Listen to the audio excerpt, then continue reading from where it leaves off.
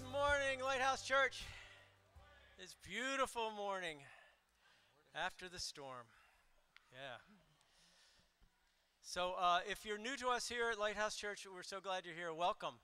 Welcome. If you uh, have any questions about, more questions about who we are uh, and, and where we see ourselves in the body of Christ, there are, there are folks out in the lobby after the service. You can get with them, find an elder um, uh, find one of them, and, and they can give you more information about about us.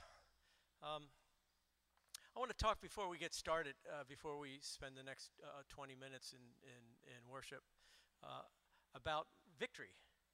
Victory, uh, Merriam Webster Dictionary defines victory as the overcoming of an enemy or an antagonist. Now, the Bible kind of fleshes that out a little bit we have like a worldly view where victory might be winning a game, it might be uh, winning an argument, might be the victory of being right. Anybody uh, have that one going? I just did it a little while ago. Um, victory of being first in line. Uh, Maria the other day said the victory of finding your getting the best parking spot. You know, uh, uh, the victory of job promotion. Those are worldly victories. Uh, in the Bible, um, God and Jesus speak of a godly view of, of victory, where uh, the enemy is sin and death, where um, uh, the antagonist is Satan. Uh, Paul says it best, I think, in Corinthians. He says, But thanks be to God, He gives us the victory through our Lord Jesus Christ. So, through our Lord Jesus Christ, who, who lived and died as a sacrifice for our sins, and then rose from the dead to sit with God up in the heavens. That gives us the redemptive power of everlasting life with Him in the presence of Him. If we believe, if we, as my wife calls it, do that U turn and start to repent, the Lord is just waiting for us with open arms. We're going to hear a, a story this after uh, this morning um, with our brother Jerry here that that he talks about that. He talks about a life where uh, he had to he had to just stop, pull a U-turn, and get right with God. So why don't we sing about that, the victory in Jesus, by standing and uh, and singing these words out loud, because they apply to all of us. One, two, three, M.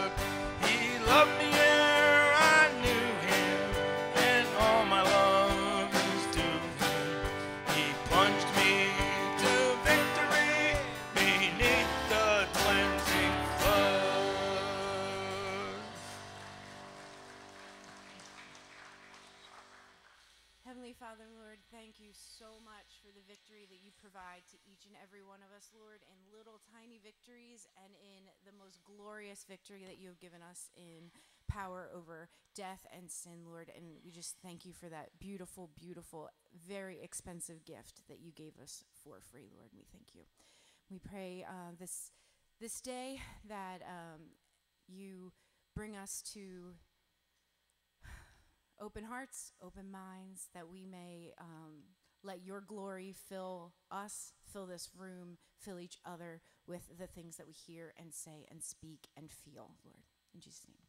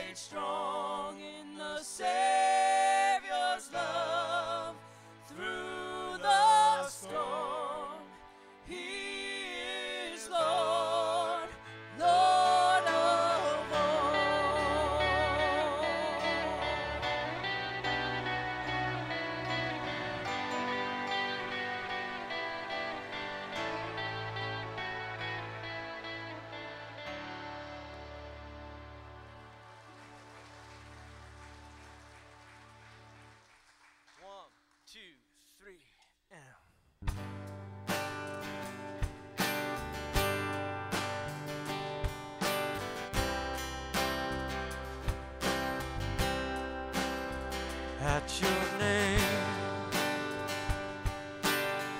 The mountains shake and crumble at your name. The oceans roar and tumble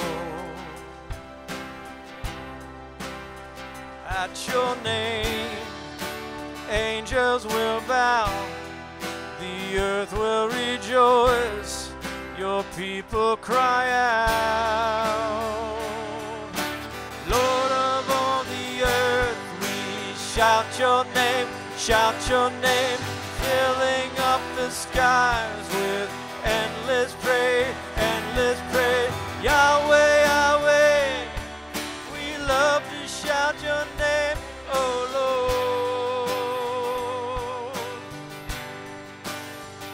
At your name, the morning breaks in glory. At your name, creation sings your story. At your name, angels will bow, earth will rejoice, your people cry out.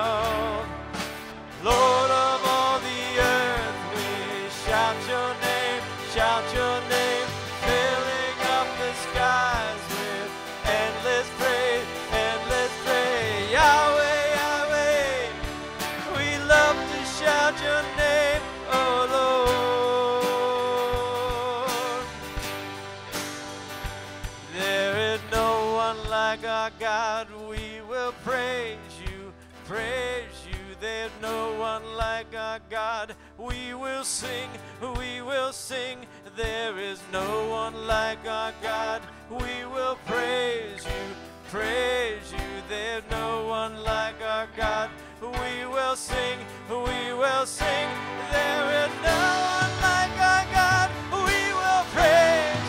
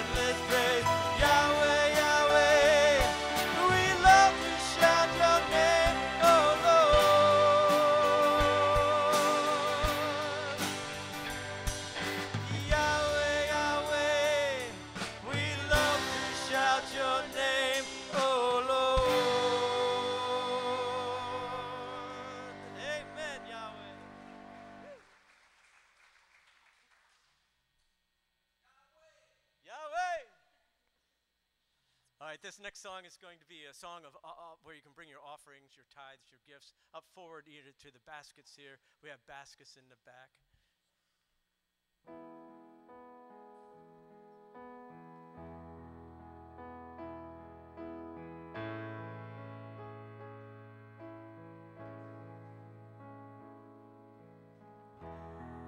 There's nothing worth more that will ever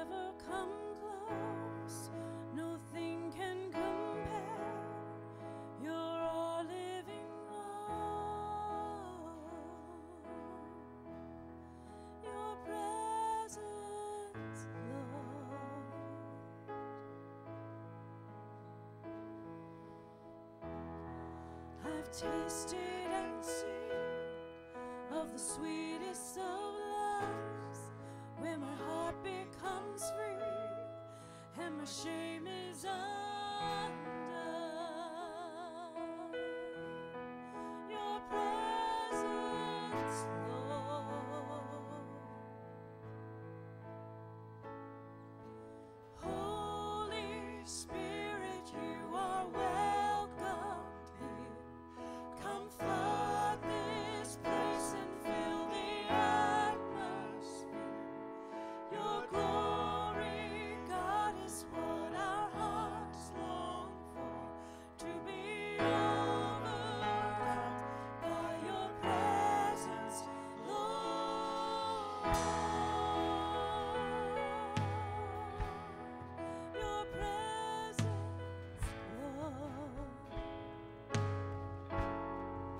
nothing worth more. There's nothing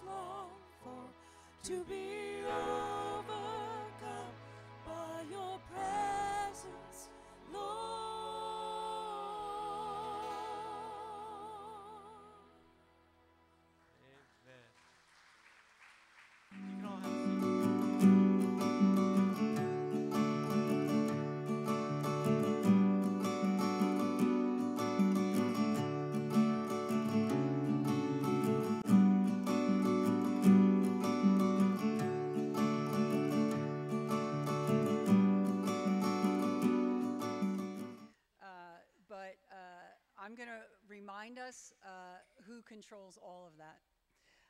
Can you lift up your voice to the clouds that a flood of waters may cover you? Can you send forth lightnings that they may go and say to you, Here we are? Who has put wisdom in the inward parts or given understanding to the mind? Who can number the clouds by wisdom or who can tilt the water skins of the heavens? When the dust runs into a mass and the clouds stick fast together. I love that water skins of the heavens that have been poured out. Uh, and so God is talking to Job uh, and explains to him that he is the sovereign God of the universe, God over creation itself. And so Job responds to God I know that you can do all things and that no purpose of yours can be thwarted. Who is this that hides knowledge? Uh, excuse me, that hides counsel without knowledge. Therefore, I have uttered what I did not understand, things too wonderful for me, which I did not know. Hear, and I will speak. I will question you, and you make it known to me. I had heard of you by the hearing of the ear, but now my eyes see you. Therefore, I despise myself, and I repent in dust and ashes. So when Job turns to God and says, I heard of you, but now I see you, Job is talking about the eyes of his heart. That now he sees God for who he really is, and he repents and he is transformed. And so that invitation is for all of us, brothers and sisters, to come before the Lord, confess and repent and call on Jesus Christ as Lord and Savior. So today we have a story from within where Jerry Fox is going to share just that, where he met the living God, repented, and called upon him. And the work that God is doing now in his life, he's going to share with us. So let's rejoice and welcome Jerry Fox.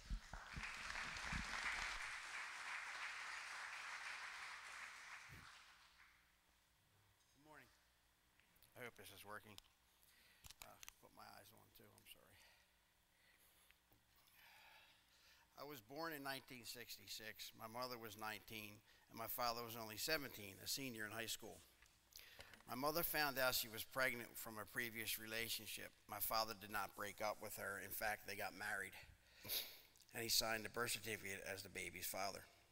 I did, did not did not know this until I was in my late teens but it did not matter to me. Roxanne was still my sister, and I loved her. We were not a Christian family. I did not even think I knew about God until I was in the fourth grade. My father was a good man, well liked and known by everyone. He was highly intelligent. He set up a four year machinist apprenticeship at Westinghouse before he even graduated from high school and finished that apprenticeship in only two years. At 19, he bought the house I grew up in, kinda and he and my grandfather immediately built a two story addition that was three times the size of the original house. There was a huge yard that was on a big hill where all the kids in the neighborhood would go sledding in the winter. My mother's family lived two houses away. My father was doing very well for a 20 year old man. He had a house, two vehicles, as well as a camper. Some of my best early childhood memories are spent of time spent camping in the mountains in that thing. I remember the four door Malibu, Malibu sedan too. We also had Back then, it did not have seatbelts. I sat in the back and I liked playing with the door handles. One time, I fell out of the car when we were driving down the road. I was not hurt, but my dad immediately took the handles off the doors in the back seat. My mother worked at Dunkin' Donuts, and it took all my strength to stay awake at night, waiting for her to come home from work. I could see the lights come up through the floor, and when she came in the room, I would pretend I had just woken up. Of course, my mom knew I didn't. She would give me my delicious cream donut, which was my favorite and still is. Other than those things, I don't have many memories of that time of my life. I blocked out a lot due to the events of the years that followed. Although he was doing very well, the devil had plans to derail my father's life. When he left Westinghouse and took a higher paying job at a machine shop in our town, he met a coworker named Augie who had just happened to be the treasurer of the motorcycle gang called the Pagans. For my dad and all of us, it was downhill from there. My dad started hanging out with the bikers, using drugs and everything else that came along with that lifestyle. They would get together at our house with all their bikes and loud music. My only memory of this time was thinking how cool it was. My father even built his own motorcycle, a chopper. He was creative and decorated it by broadcasting, broadcasting aluminum shavings from the lathe into the wet black paint, and then he clear coated it, making a shimmering metallic finish. I remember that it was so low I could touch the ground with both feet when I sat on it. I was only seven years old. Eventually, my father joined the pagans. Almost immediately, my mother took my sister and I and moved with, in with her parents. Since they lived so close to us, I still saw my dad every day. My mother got involved with another man and she remarried within a year after divorcing my father. Excuse me.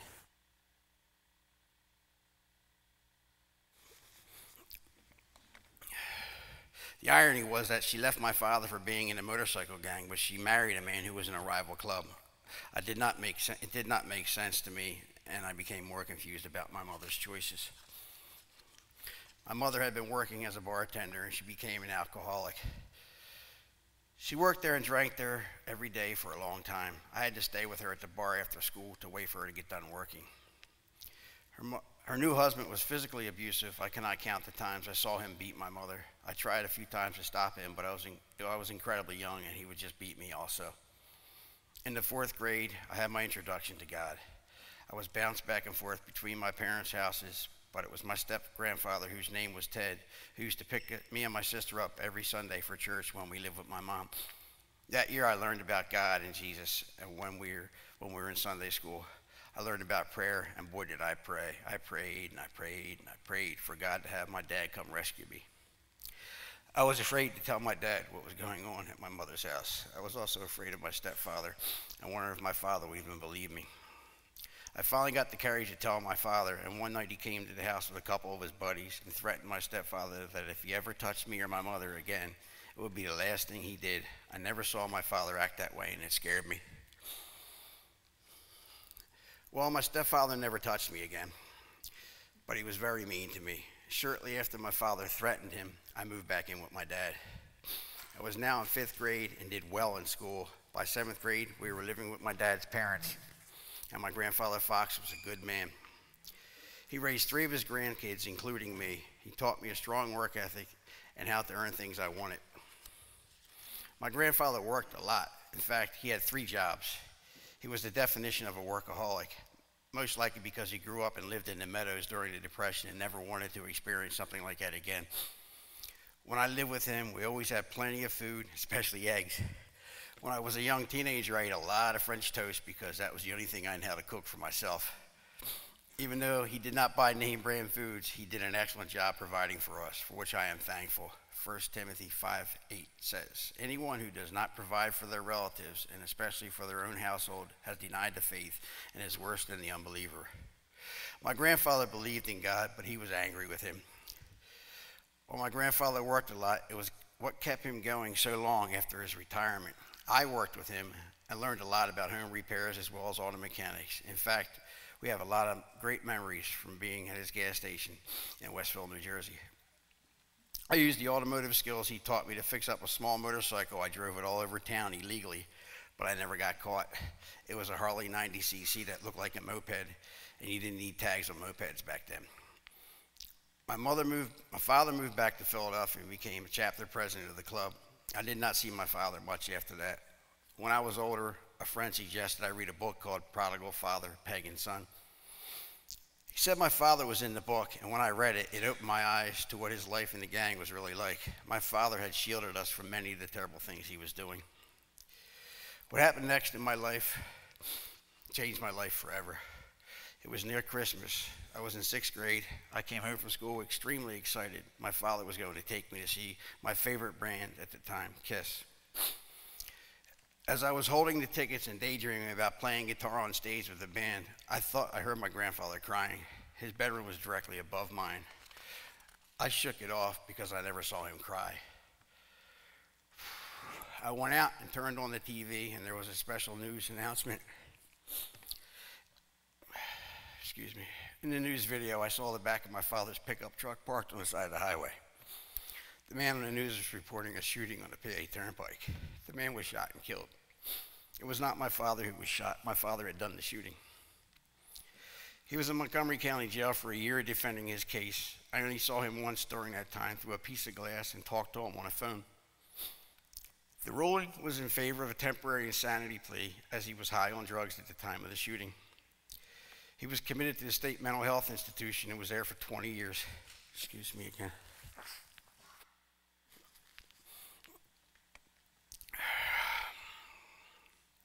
I saw him once in that first institution while he was there, as my grandfather refused to go there again. It was very scary. The same year, that same year, I scored extremely high on a national aptitude test and was put in advanced classes the following year. I was expected to do a lot of the assignments unsupervised. Instead, I started to hang out with the older kids down the street from my house. I was 12, they were between 16 and 19 years old. I started drinking and doing drugs with them so much that by ninth grade, I was supplying them with most of the drugs we took. I got them from my father's friends in the motorcycle gang. They were like my family. I thought they were looking out for me, but I was being groomed to be a part of the next generation of biker gang members. I was more interested in this life of partying than school. I was constantly at the police station for one thing or another. I did not think I had done anything that serious at the time but I just did whatever I wanted because I was not being supervised by anyone. Grandpa worked so much that whenever he was home, he was sleeping. My friends and I were considered troublemakers, and we all had rebellious long hair. Yeah, I had long hair. I also failed seventh grade. I did many things that eventually got me into juvenile detention. The first time I was in for 10 days, we were chased and caught by the police on our dirt bikes over the summer so many times. By summer's end, I had a shoebox full of police citations that amounted to over $3,000. By ninth grade, I was arrested again while cutting school. I naively went with my friend into his neighbor's house to hang out when they were not at home. As we were relaxing, watching TV, and eating their food, the police arrived and arrested us for breaking and entering.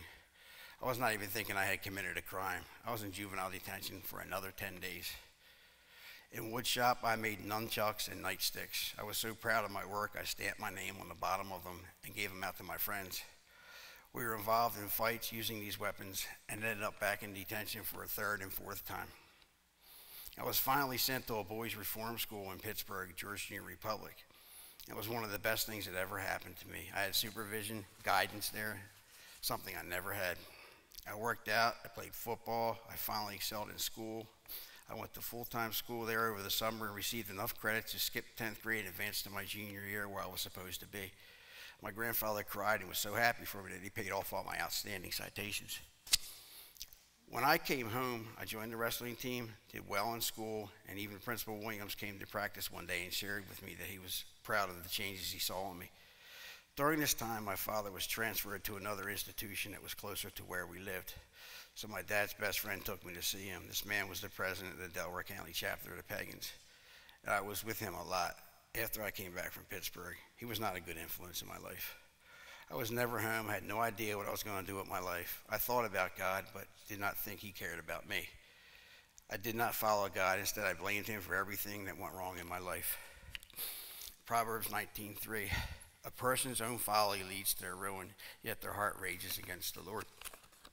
That was me. I blamed God for everything that happened to me. I felt like the world owed me as if the world took, and God took my father from me, even though it was his, the consequences of my father's sinful choices. The good news is that my father accepted Jesus as his Savior, so he was walking with the Lord for 17 of the 20 years he was institutionalized. He spoke to me of prayer and Jesus quite often and warned me about the life I was leading. I was going to end up like him. I chose to ignore him and most of his advice. I was living life for myself, enjoying the gifts my father gave me to make up for not being there, like a Harley Sportster to drive to school my senior year. I quickly moved into the nightclub bar scene after school. Everyone knew me. I was out of control, doing whatever I wanted, whenever I wanted. I sold drugs and practically lived in those nightclubs. I thought it was fun and would last forever. It didn't. Make no, mistake, during this time, I did think about how I was living quite often. My conscience was convicting me. God was speaking to me. I rationalized my behavior by telling myself it was okay because I wasn't hurting anybody else, right? I'm still a good person. I go out of my way to help anybody I can. I do charitable deeds. I share my money. So my behavior is okay, right? No, it wasn't. This life led me right to county jail. I was arrested five times for possession and sale of drugs. My father bailed me out and got me lawyers four times. The fifth time, he had enough. He said I need, that I needed tough love, and I did. But my father took pity on me one last time. When I was released, he bought me a trailer in South Jersey near my grand, where my grandfather lived at the time to keep me away from Delco, and I moved in there. When I was 20, my dad was granted weekend passes, and I picked him up every weekend so we spent a lot of time together. He bought a new motorcycle for he and I to use. He even rode it to church on Sundays. He was always trying to get me to go to church. I did a few times just to make him happy. God had been calling me for my entire life, but I chose to ignore him. I worked 80 hours a week pumping gas to keep myself out of bars. It also kept me away from my life of sin back in Delaware County. I saved a, lot of money and bought my first car, a 77 Hurst Limited Edition Trans Am. I was able to drive to work then. I got a job working for more money at a boat building company in Millville, Silverton Marine. But I had more free time and began going back to my old stomping grounds frequently. My life continued to follow the destructive path for some time. God never gave up on me as I was given the opportunity to move to Orlando, Florida with a new, with a new job at another boat builder, Regal Boats. I was promoted quickly and I liked the work. I did not like the Florida weather though. I met a man named Greg at work. It turned out that, that he and the owner of the company were both Christians. Greg was getting hassled by the other employees because he was the manager hired for his business skills, but he knew nothing about building boats. I chose to befriend him and show him everything I knew. We started going canoeing and fishing together. The second time, he asked me if I knew Jesus. He shared what God had done in his life, and we talked for hours about it. Greg convinced me that The simple choices I made caused my life to be in ruins. It was not God that did this to me. And I asked God to come into my heart. I thought I could go to church on Sundays, pray, read the Bible, and still hang out in nightclubs. We cannot have what we think is the best of both worlds. Matthew 6:24 says, "No one can serve two masters. Either you will hate one and love the other, or you will be devoted to one and despise the other. You cannot serve both God and money." At Christmas in 1992, we were given an extra week's paid vacation. I came home to Pennsylvania and never returned to Florida. I was arrested the third night I came home for possession of drugs in the car. I spent four months in, in the county jail. I contacted my friend Greg in Florida. He was very sympathetic. He sent me a study Bible. I read it every day. I even started a Bible study with four other inmates. After I was released, I moved back in with my mother and went right back to living for myself. Then one night, God used the circumstance, my circumstances to wake me up again. I was intoxicated when I left the nightclub. Went home to get some drugs to bring to a female friend. I was traveling on my motorcycle when another drunk driver made a U-turn into oncoming traffic. I ran directly into the left fender of his car. Police said I was doing 70 miles an hour and was thrown over 70 feet into the air. My helmet flew off, so my head slammed directly into the pavement. The doctors told me my head hit the concrete so hard that my brain moved through the fluid surrounding, surrounding it and smacked my skull. It's really bru- bruising it. They were baffled as to why my skull had not crushed or been fractured. That kind of impact should have killed me. It was because God still had a plan for me. Psalm 138, 6 to 7 says, Though the Lord is exalted, he looks kindly on the lowly. Though lofty, he sees them from afar. Though I walk in the midst of trouble, you preserve my life. You stretch out your hand against the anger of my foes, and with your right hand you save me. And boy, did he save me. God saved me from myself that night, and several more times as well. I was my own worst enemy. After two weeks in ICU and five more weeks relearning how to read and do simple math again, the doctors recommended that I stay another six weeks in bed. Against medical advice, I checked out of the hospital. I did not use the wheelchair. I walked around in a cast that was not made for walking. I went right back to my lifestyle. I chose to ignore God once again. Romans 1:20 says, "For since the creation of the world, God's invisible qualities, his eternal power, and divine nature have been clearly seen, being understood from what has been made so that people are without excuse." I should have died that night. Yet I chose to ignore the God who spared my life. But once again, he did not give up on me. In fact, he sent me a sweet little angel that, I, that he knew I could not ignore. My daughter, Alexis Marie. God used her to bring me back to himself and, and start to walk the way I should have. When Alexis was born, I made a conscious decision to bring her up the opposite way I was brought up. But you don't change 35 years of programming overnight, right? We started attending Assemblies of God church in West Cape May, and, the, and Pastor West was awesome. But he left, and the new pastor just wasn't doing it for me. I used that as an excuse to leave the church. There I go again with the me, me, me. I buried myself in my construction company, so all I did was work. I did stop using drugs before Alexis was born. Yes, I just stopped. Some people can do that. God took away my desire, and I am so thankful for that. The Lord called me repeatedly. He put me in a place where I could not ignore Him. When we moved to a new house, I saw a Rio Grande Bible Baptist Church every time I stepped out my front door. We were that close. My little girl saw the people in the church going every Sunday and asked me to, every time, Dad, when can we go to church again? I told her maybe next week, honey. One, one day I was outside doing yard work, and Alexis asked me the same thing she always did. I told her the same thing I always did. She turned and stomped into the house and came out five minutes later wearing one of her beautiful dresses. And she grabbed my hand and said, Daddy, we're going to church. So I went with her wearing my dirty yard work clothes. We became members of the church. It was like a large family. Pastor Jeff opened my eyes to a lot of things I never realized before. Alexis spent first and second grade attending school there. When Alexis was in third grade, we enrolled her in Cape Christian Academy. The director, John Spriggs, and school board president, Jack Lessering, almost immediately asked me to join the building committee for the new gym project. I ended up building the locker rooms and bathrooms and coordinating the installation of the basketball court floor. When I showed up at work to work at school at that school, Alexis's eyes would light up when she saw me there. I love that little girl with all my heart. I was going to make sure she had everything I never did, and I have. Yeah, that was me in the cougar costume. That thing was hot. I became good friends with John Spriggs and his family. We were very involved with everything the school did, including several unforgettable trips to creation where I volunteered at every year. I read the Bible with Alexis daily, and she used to love reading it to me. God used Alexis Marie to bring me to where I needed to be, walking with Him. Unfortunately, my son chose a different path. He is now a grown man and has been made some bad decisions, which he is paying for now. He claims to have found God, which I am very thankful for. I will always be there for him. He does not call me much, but when he does, I am grateful. He will be home this October. I can't wait. I was walking with the Lord even though I was still drinking. I rationalized it by telling myself that even though I was drinking, I was not going to bars or doing drugs, so it was okay. No, it wasn't. 1 Corinthians 6, 10, and 11 says, Nor thieves, nor the greedy, nor drunkards will inherit the kingdom of the God. And that is what some of you were.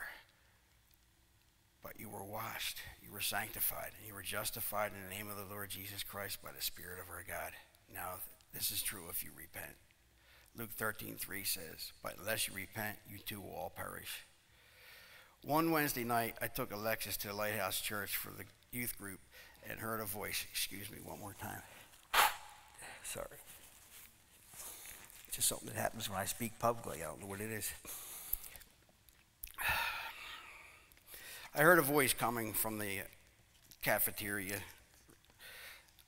Something drew me into this, and it was Pastor Charlie instructing a group. I attended once and I was hooked. I started regularly attending church here also. I felt like every sermon Pastor Rudy gave was just for me, like God was speaking directly to me. In fact, he was. I became involved in men's study and bridge also.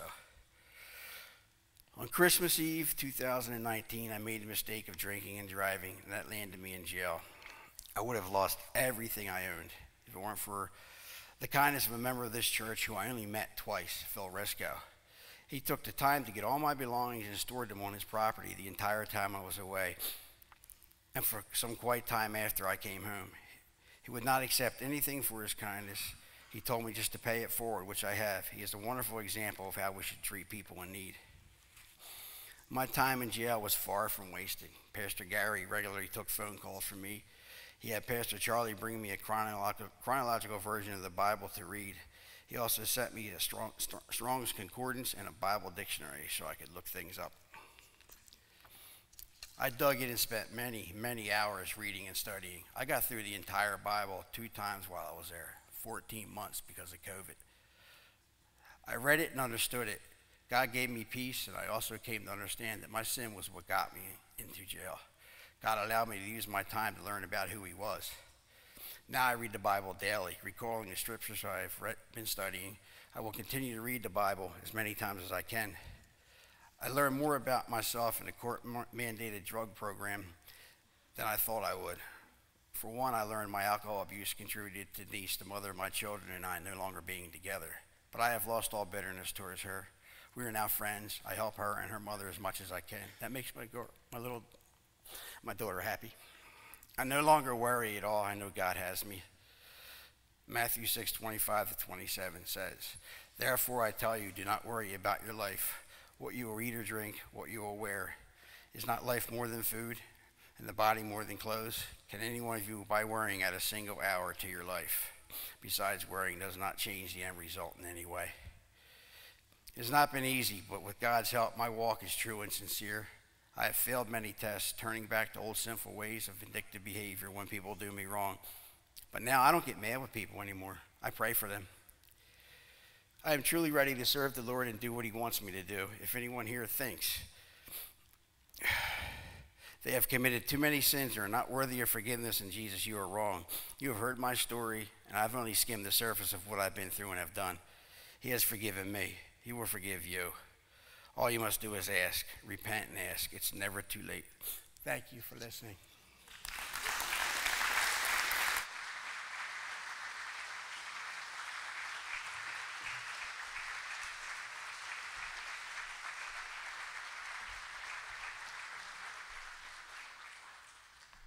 You can remain standing. We're going to sing one more song of worship. As soon as we all get up here. We're going to sing about God's power as exhibited there with Jerry's story. Thank you, Jerry.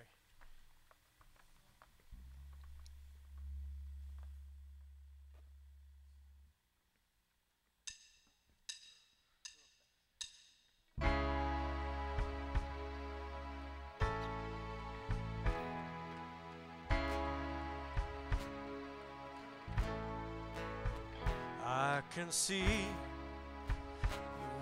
waters raging at my feet. I can feel the breath of those surrounding me. I can hear the sound of nations rising up. We will not be overtaken. We will not be overcome. I can walk down this dark and painful road. I can face every fear of the unknown. I can hear all God's children singing out. We will not be overtaken. We will not be overcome. Same power that rose Jesus from the grave. The same power that commands the dead to wake lives in us. Lives in us. The same power that moves mountains when he speaks. The same power that can calm a raging sea lives in us. Lives in us. He lives in us. He lives in us. We have hope that His promises are true in His strength. There is nothing we can't do, yes, we know. There are greater things in store. We will not be overtaken, we will not be overcome. The same power that rose Jesus from the grave, same power that commands the dead to wake, lives in us, lives in us. The same power that moves mountains when he speaks. The same power that can calm a raging sea lives in us.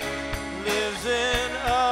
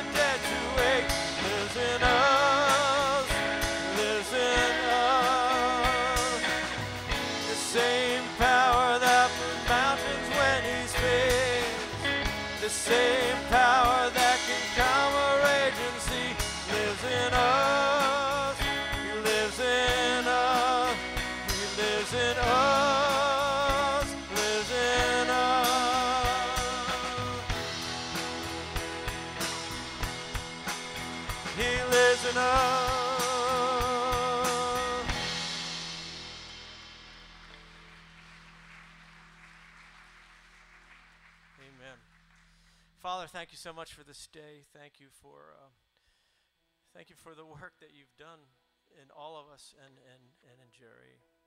Uh, Jerry, how how he's turned to you can be a lesson to all of us that it's never too late. It's never too late to do a U-turn to repent and say, Lord, take me. We thank you for that love. We thank you for that grace. We thank you for the promises of having an everlasting life in your presence. You are the God of creation. You are all. Thank you for, uh, for everything you've done for us. Thank you for your Son who's come to this earth.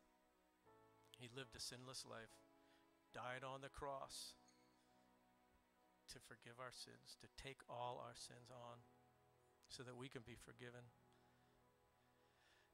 We pray all this in your Son, Jesus' name. Amen.